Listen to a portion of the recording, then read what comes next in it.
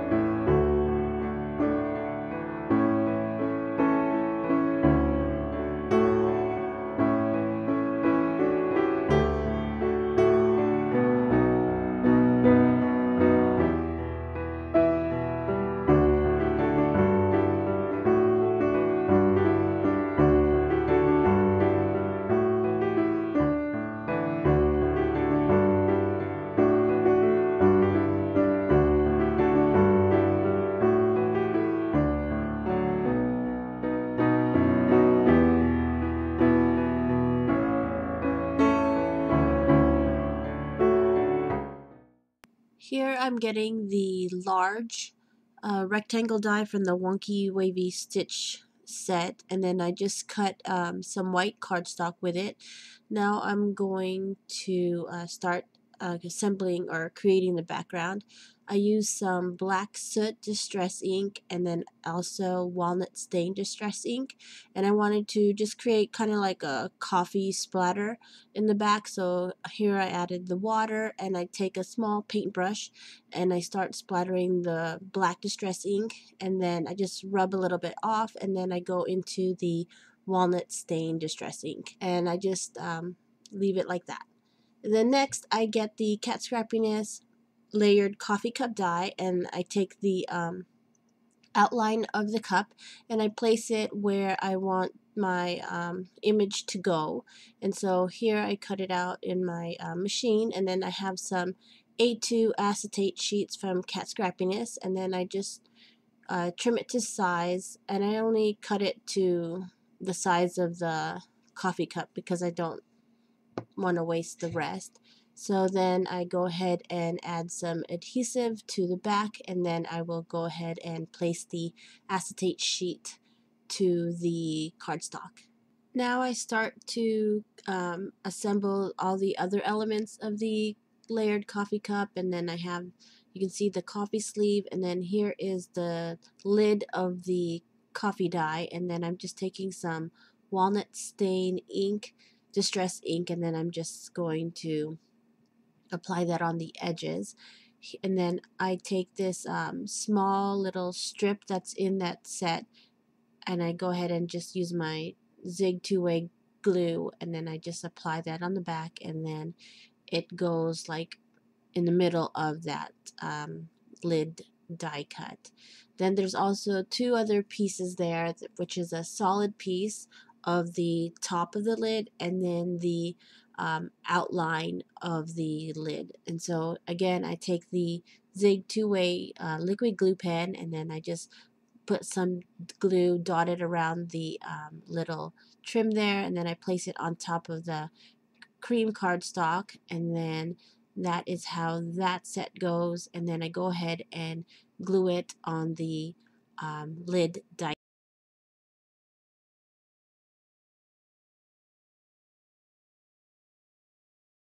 So after that, I take some mustard twine here and then I go ahead and wrap it around the coffee sleeve like three times.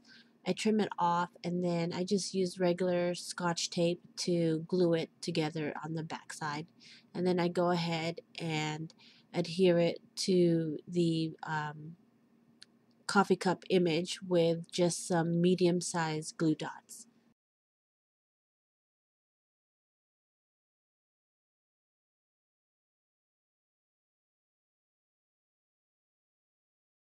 So the next thing after that, I go ahead and start to adhere the foam adhesive squares um, around the shaker portion of the image so that uh, none of the sequins will uh, fall out when it gets shaken up. And then also I skip that part just because I do tend to use a lot and you don't really need to see me apply all those squares. So the card base I'm using is a 110 pound cardstock and it's cream.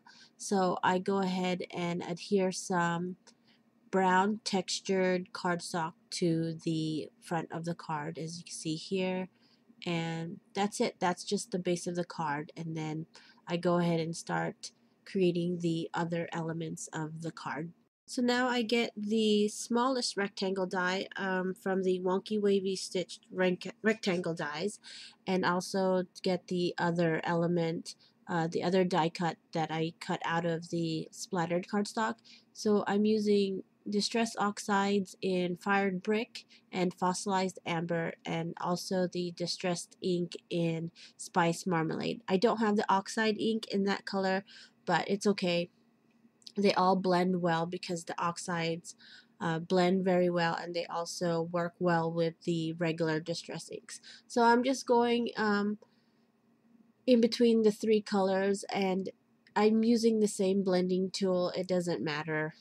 It didn't really um, transfer to the other ink pads. So I'm just going back and forth with the three colors and you'll see at the end that they do blend very well. And yeah, so those are the colors I used and let's get on to the next step. I take the rectangle piece and I put it in my MISTI and then I get the Let's Get Caffeinated stamp set from Kat Scrappiness.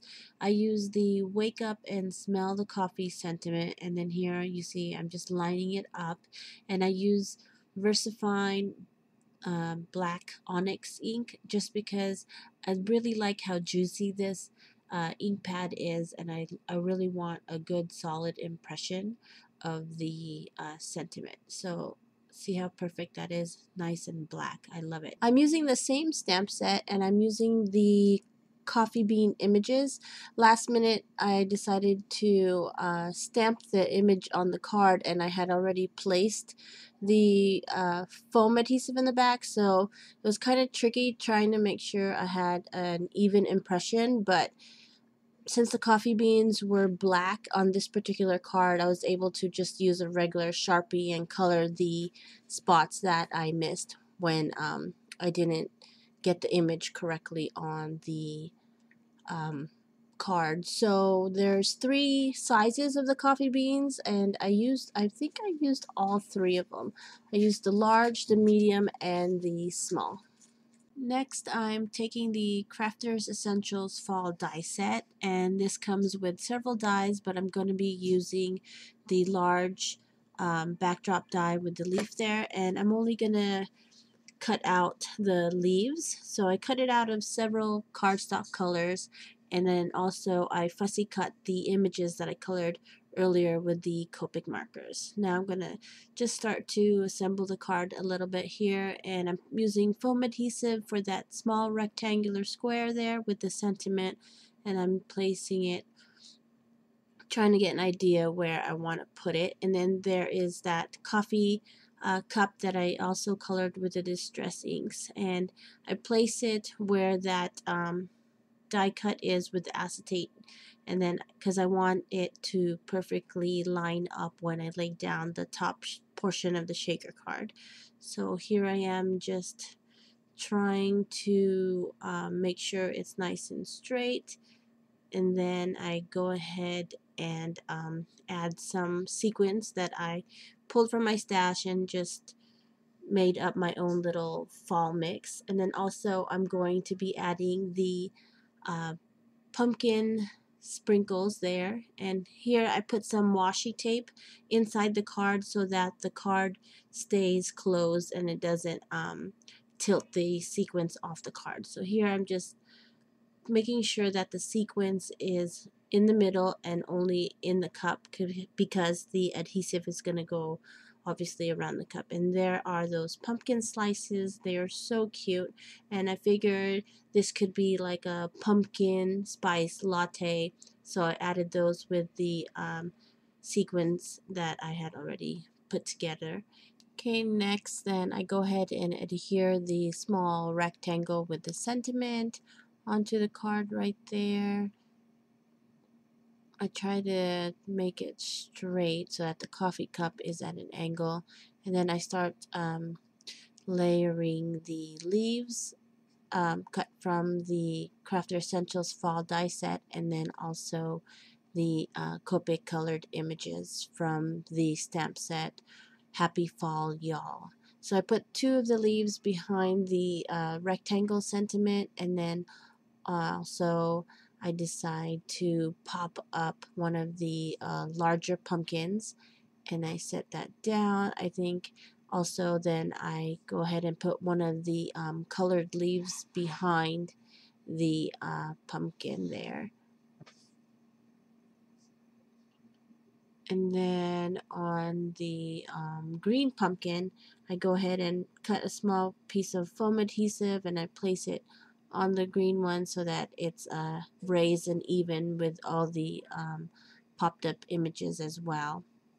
And then the last three um, elements, the yellow leaf, the colored leaves, and also the smaller pumpkin, I go ahead and uh, layer that on top of the coffee sleeve. So now I'm taking some glossy accents and putting it just around the card and I'm also taking some of these um, brown circle sequins that I used inside the shaker part of my card and just putting it around the um, card just for some added detail. So thank you so much for watching this video. I hope you enjoyed my card. I'll put a link to the Kat Scrappiness products in the description box below and also a link to my blog. Thank you for so much for watching and I'll see you soon. Bye.